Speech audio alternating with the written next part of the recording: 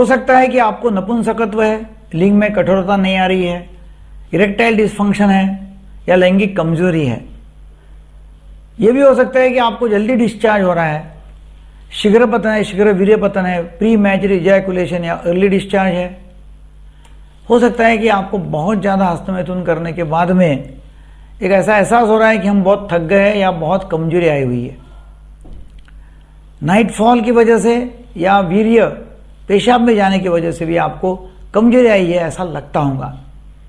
या होमोसेक्सुअलिटी का एहसास होगा जिससे आप शादी नहीं करते होंगे।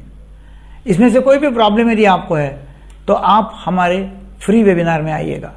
नीचे लिंक दी हुई है, लिंक में क्लिक करके आप ये वेबिनार में ज्वाइन हो सकते हैं। मेरा नाम है डॉक्टर दीपक कहकर मैं वेबिनार लीड करने वाला हूँ। मैं मनोविकार, सेक्स रोग, सम्मोहन तथा व्यसन तज्ञ और पिछले सैंतीस साल से अकोला में प्रैक्टिस कर रहा हूँ। Thank you very much